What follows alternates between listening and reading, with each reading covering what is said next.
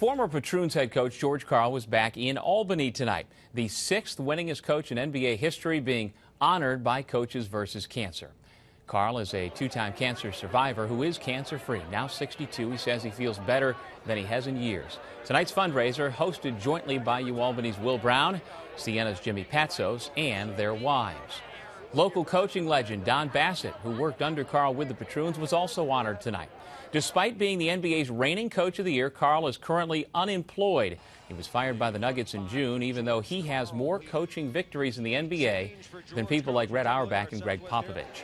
But it's his stats from the 1990-91 CBA season that will be forever unmatched. Under Karl that year, the Patroons went 50 and 6, including a perfect 28-0 home record at the Knick. Two different stints as coach of the Patroons during their heyday, including the 88-89 season at the Washington Avenue Armory, keep the capital region very near to Karl's heart.